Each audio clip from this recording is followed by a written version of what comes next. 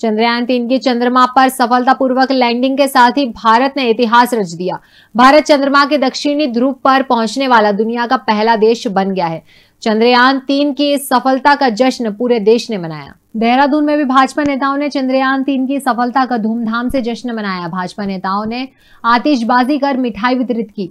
और एक दूसरे को इस ऐतिहासिक जीत की शुभकामनाएँ दी। साथ ही उन्होंने इसरो के वैज्ञानिकों का भी धन्यवाद किया। इस अवसर पर प्रदेश संगठन मंत्री अजय कुमार देहरादून महापौर सुनील उनियाल गामा सहित पार्टी के अन्य पदाधिकारी मौजूद थे।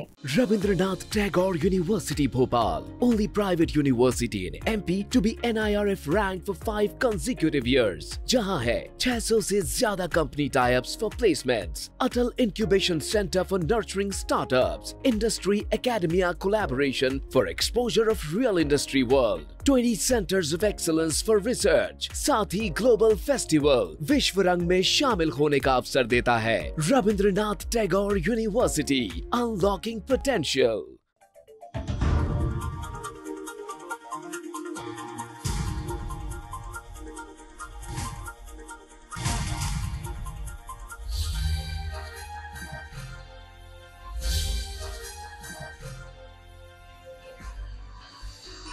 आप देख रहे हैं दखल न्यूज